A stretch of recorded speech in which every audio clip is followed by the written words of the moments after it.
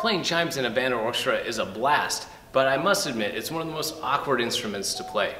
First of all, instead of using mallets or something like that, typically we need something that has a little more weight, so we're using hammers.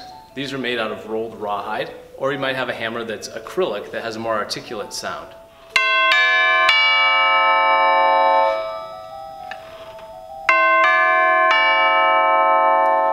For simple melodies, one hammer is sufficient. However, if you have more complex, faster melodies, you'll need to use two hands. Instead of hitting the note from the top, angling down,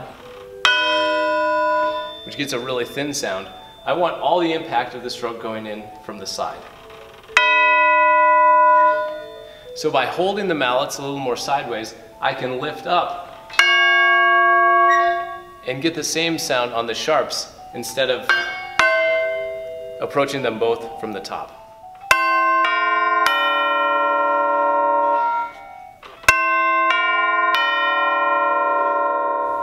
For most manufacturers of chimes, when the pedal is down, the tubes are free to ring.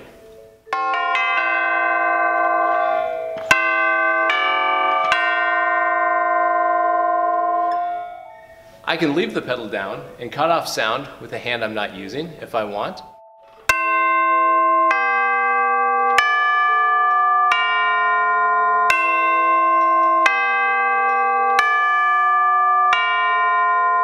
One of the biggest challenges of playing the chimes is not so much just playing them, but it's being able to read your music, watch the conductor, and see the notes that you're hitting all at the same time.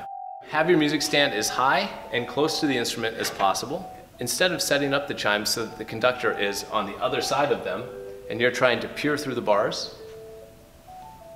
to see the conductor, set the instrument up so that it's sideways or angled toward the conductor with the music being right in line with the conductor.